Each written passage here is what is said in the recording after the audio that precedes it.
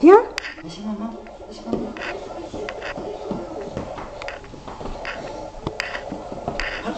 Vas-y. Allez, cours. Euh, non.